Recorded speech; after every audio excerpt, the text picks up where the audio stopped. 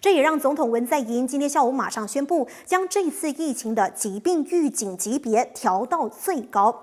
안녕하세요. 마카오 권입니다. 네, 지금 며칠 연속 100단위로 확진자 수치가 올라가고 있는데요. 해외 많은 언론에서도 한국의 심각성을 느끼고 한국 여행 자제 혹은 한국인 입국 금지를 하는 나라들이 많아지고 있습니다. 지금 네이버 뉴스에서도 주변 사람들과 대화를 해도 죄다 코로나19에 관한 얘기들인데요. 코로나19의 확산으로 인해 한국 경제에도 엄청난 피해를 주고 있는데요. 식당, 공항, 여행사, 백화점과 각종 사업 등 어느 하나 피해가 없는 곳이 없습니다. 그래서 저도 하루빨리 안정기에 들기를 간곡히 바라고 있고요. 우리나라가 이렇게 엄청난 확진자와 사망자까지 나오고 있는 상황에 과연 다른 나라 시민들은 우리나라의 현 상황을 어떻게 보고 있을까요? 해외 뉴스의 댓글을 한번 살펴보도록 하겠습니다. 네, 이거는 대만 사람들이 단 댓글입니다. 한국은 매우 위험해. 한국 여행 가지 마. 한국은 곧 끝장나겠어. 한국은 그래도 비교적 투명해. 측정력도 좋고 매일 두 번 감염자 수 보고도 하고 있어. 하지만 일본은 중요시 여기는 것 같지 않아. 사실은 굉장히 심각한데. 전 세계에서 너희 대만 매체만 우한폐렴이라고 해. 네, 제가 대만 뉴스를 보니까 다 우한폐렴이라고 말을 하더라고요. 그래서 이런 말을 하는 것 같아요. 우한폐렴 맞잖아? 뭐가 틀린 거야? 홍콩도 우한폐렴이라고 그래. 예를 들어 명보라는 주요 매체지에서도 그렇게 말을 하지. 대만은 북한과 러시아에게 배워야 해. 외국인을 전면 차단하고 자국민 여행도 막았어. 돈은 나중에라도 벌 수 있지만 생명은 그렇지 않아. 돈이 많아도 소용없어. 맞는 말이죠. 이 댓글을 보고 다른 사람이 리댓글을 달았습니다. 같은 공산주의 국가라 서로의 생각을 잘 알 거야. 러시아와 북한은 중국 정부를 잘 아니깐. 무슨 말인지 대충 아시겠죠? 북한만이 초기에 중국 입국을 금지했어.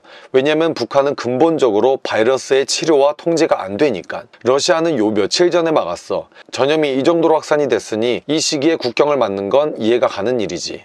네, 그렇죠. 지금이라도 국경을 막아서 이 전염병을 차단한다 그런 뜻이죠. 한국은 뭐든지 일본을 이기고 싶어 해. 축하해. 한국은 드디어 일본을 초과했네. 네, 확진자를 초과했다는 뜻이죠. 사실 다른 나라 사람들도 알아요. 우리나라가 뭐든지 일본을 이기고 싶어 하는 걸. 근데 이렇게 말하는 건 우리를 비꼬는 거죠. 어떤 한국 분이 댓글을 달았더라고요. 축하해. 한국이 드디어 일본을 초과했어. 미친놈. 한국은 정부가 조급하고 시민은 아니야. 일본은 시민이 조급하고 정부는 아니야. 한국을 보면 우한의 상황이 어떤지 각이 나오지. 중국은 봉쇄가 가능한데 한국은 가능할까? 여기 댓글을 보니 대만 사회의 병도 가볍지 않네. 근데 여기다가 어떤 한국분이 하면 안 될 말을 했어요. 한국 놀러와 대만 애들아 오면 좋은 선물 줄 거야. 이게 무슨 말이냐면 우리나라로 와. 우한 폐렴 바이러스 줄게 이런 말이에요. 진짜 이런 사람들 때문에 우리나라 이미지가 더 안 좋아지는 겁니다. 네, 이건 대만 사람의 마지막 댓글인데요. 한번 보시죠. 모든 사람들이 다 울고 있어. 사업은 큰 영향을 받았고 관광업, 식당, 백화점들까지도 전부 피해를 다 봤으니 유일하게 집주인만 돈 벌고 있어. 완전히 영향을 안 받았거든. 그러니까 이 사람이 하는 말은 집주인은 아무래도 월세를 계속 받기 때문에 뭐 그렇게 큰 타격이 없다 이 말이에요. 네, 그 다음은 홍콩 뉴스에 달린 댓글을 볼 건데요. 사실 댓글이 많이 있지는 않더라고요. 그래서 몇 개만 가져왔습니다. 북한이 제일 눈에 띄네요. 북한이 초기에 중국인 입국을 막았기 때문에 이렇게 글을 쓴 것 같아요. 씁니다. 조심하세요. 왜 이렇게 씁니다 라고 썼냐면 우리나라가 말 끝에 씁니다, 합니다 이런 걸 많이 쓰잖아요. 그래서 외국 사람들이 한국 사람들을 볼 때 씁니다 국가 뭐 이렇게도 많이 써요. 한국 아줌마는 얼마나 많은 사람을 죽여야 만족할까? 신천지 31번 환자 말하는 겁니다. 한국의 일은 내 예상 밖이다. 아마도 많은 사람들과 함께 모여서 친밀한 포옹과 같은 형태로 그들의 형제를 보여주는 작은 종교 모임이 주된 원인일 것이야. 아 그리고 여러분 이 시국에 광화문에서 대규모의 집회가 있었잖아요. 그때 집회 관련 영상들도 세계적으로 많이 퍼져나갔나 봅니다. 그래서 마카오 사람들도 여기에 대해 비판을 많이 했는데요. 그때 당시의 영상을 잠깐 보시고 댓글을 읽어보겠습니다. 야외에서는 감염되는 사실이 전혀 없다는 사실입니다. 할렐루야! 나무 아미 타불 민족성이 남김없이 표현됐다. 민주적인 자살 집회 하하 어쩐지 대륙과 친구가 되더라. 그들의 이런 행위는 근본적으로 기독교인다운 정교함과 지혜가 아니야. 네, 이런 말들을 남겼네요.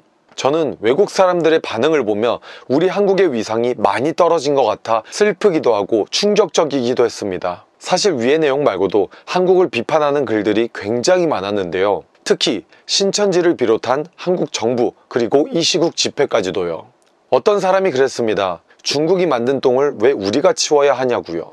분명히 중국의 잘못으로 한국에 전염이 되어 이렇게 많은 피해자들이 생겼습니다. 하지만 이미 벌어진 일, 우리 스스로가 이겨내지 못한다면 우리나라의 경제가 계속해서 침체가 될 수밖에 없습니다. 그러니 저도 여러분도 이 힘든 시기 잘 이겨내어 예전의 한국, 더 나아가선 세계 위상을 떨치는 그런 한국이 됐으면 합니다. 다음 편은 코로나19의 발병지 중국 사람들이 지금의 한국을 어떻게 생각하는지에 대한 내용인데 진짜 충격적인 내용이 많더라고요. 다음 영상도 보시려면 구독과 알람 설정 부탁드릴게요.